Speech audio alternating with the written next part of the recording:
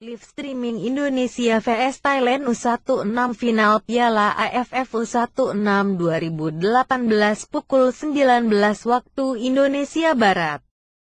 Live streaming pertandingan Indonesia vs Thailand U16 yang dilangsungkan di Stadion Gelora Delta Sidoarjo pada Sabtu malam tanggal 11 Agustus tahun 2018 akan dimulai pukul 19 waktu Indonesia Barat dan disiarkan langsung di Indosiar.